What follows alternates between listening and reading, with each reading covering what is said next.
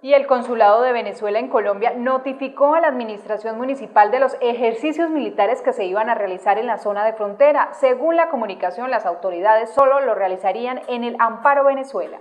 La Administración Municipal de Arauca recibió un documento por parte del Consulado venezolano en Colombia de los ejercicios militares que se iban a realizar en la población del Amparo, Estado Apure, Venezuela. El día de ayer eh, se recibió una comunicación de parte del cónsul informando estos ejercicios militares que están haciendo eh, en el amparo, eh, pues fue una comunicación de información sobre estas eh, realizaciones militares que están haciendo en el, amparo, que es la frontera con nuestro municipio de Arauca. Según la secretaria de Gobierno Municipal, la comunicación de las autoridades venezolanas es que van a realizar simulacros en la frontera. La información que ellos eh, hacen llegar es que van a hacer ejercicios militares sobre el río Arauca y el, el puente internacional. La jefe de la cartera política del municipio confirmó que solo fue una información por parte del Consulado de Venezuela en Colombia